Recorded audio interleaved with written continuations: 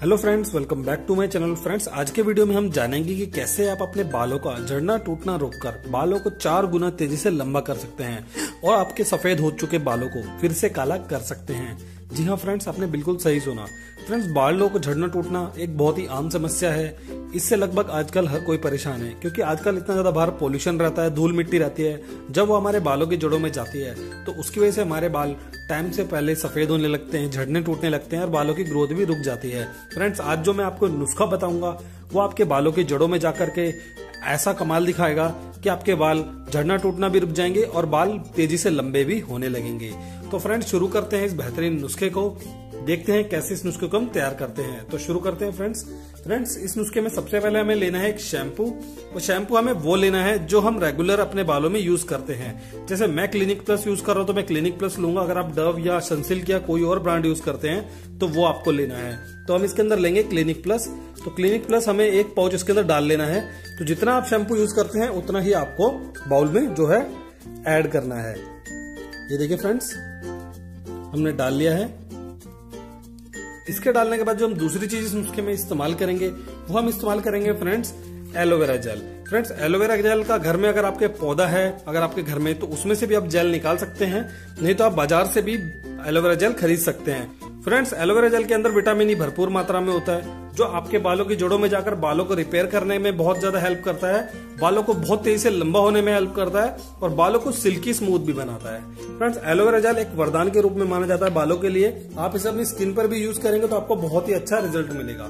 तो इसके अंदर हम लेंगे फ्रेंड्स आधा चम्मच के करीब एलोवेरा जेल ये देखिए फ्रेंड्स आधा चम्मच के करीब हम इसमें एलोवेरा जेल जो है ले रहे हैं। इसके बाद जो हम तीसरी चीज़ इस नुस्खे में ऐड करेंगे फ्रेंड्स वो है दोस्तों विटामिन ई e का एक capsule friend vitamin E e का कैप्सूल हम इसलिए इसमें यूज़ कर रहे हैं ताकि विटामिन ई e की मात्रा जो है हमारे नुस्खे में जो है बढ़ जाए। फ्रेंड्स विटामिन ई आपको मैंने बता दिया स्किन और बालों के लिए कितना ज़्यादा हेल्पफुल होता है। तो इसके अंदर हम लेंगे फ्रेंड्स एक कैप्सूल विटामिन ई का। ये देखिए, इस तरीके से आपको एक विटामिन ई का कैप्सूल लेना है और इसको हम इस तरीके से अपना पंचर कर लेंगे। आप सुई की, कैची की हेल्प से भी कर सकते हैं और नेल्स की हेल्प से भी आप इसे पंचर कर सकते हैं। तो अब जो भी विटामिन ई का इसमें से ऑयल निकलेगा, वो हम इस नुस्खे में जो है ऐड कर लेंगे कुछ इस तरीके से। ये देखिए फ्रेंड हमने कर लिया है। इसके बाद जो चौथी और आखिरी चीज़ इस नुस्खे में इस्तेमाल करेंगे, वो है दोस्तों ग्लिसरीन फ्रेंड्स ग्लिसरीन के अंदर कुछ ऐसी प्रॉपर्टीज़ होती है जो आपके बालों की जड़ों में जाकर के जो जमी हुई गंदगी और तेल होता है और डेड स्किन होता है, उसको निकाल देता है।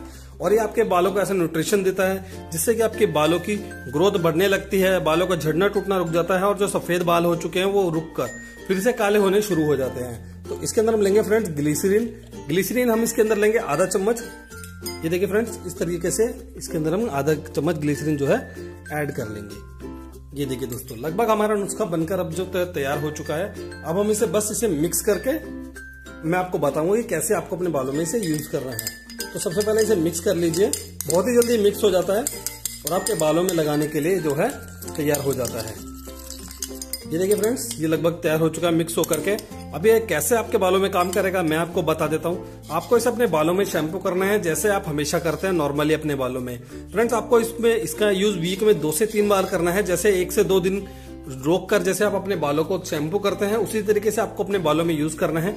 लेकिन शैम्पू करने का तरीका कुछ अलग होगा थोड़ा सा कुछ लोग होते हैं कि शैम्पू करते ही अपने बालों को धो लेते हैं। आपको ऐसा नहीं करना है। सबसे पहले तो आपको इसे अपने बालों में अच्छे से लगाना है और हल्के हल्के से पूरे बालों में जड़ों से लेकर सिरे तक दो से तीन मिनट कम से कम अपने बालों को देने हैं, मसाज करनी है।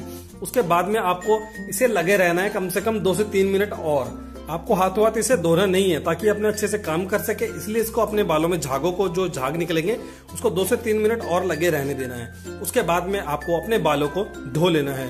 और दोस्तों, इस बात का ध्यान रखिएगा, जब आप धो लें अपने बालों को तो आप देख, उसके बाद, ठीक बाद आप अपने बालों में तोलिया से, बहुत ज़ोर से अपने बालों को साफ़ ना करें धीरे धीरे अपने बालों को साफ़ करें। शैम्पू करने के ठीक बाद हमारे बाल जो है थोड़े बहुत कमज़ोर हो जाते हैं। लेकिन बालों को आप नेचुरली सूखने दें, धूप में आप अपने बालों को सुखाएँ, और, या फिर पंखे की हवा में सुखाएँ।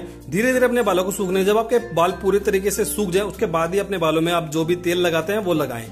फ्रेंड्स आप देखेंगे शुरुआत के दो से तीन बार शैम्पू करने के बाद ही आपको काफ़ी अच्छे रिज़ल्ट मिलेंगे। आपके बालों का झड़ना टूटना काफ़ी बंद हो चुका होगा और बालों की ग्रोथ में भी आपको फ़र्क देखने लगेगा। इस नुस्खे का इस्तेमाल आपको रेगुलर एक महीने तक करना है और लगातार एक महीने यूज़ करने के बाद आपको बहुत ही ज़बरदस्त रिज़ल्ट मिलेगा। बाल आपके काफ़ी ज़्यादा लंबे हो चुके होंगे और आपके बालों का झड़ना भी रुक चुका होगा और सफ़ेद बाल जो हो चुके हैं वो भी फिर से काले होने लगेंगे।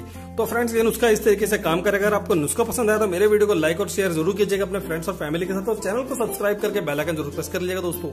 थैंक यू दोस्तों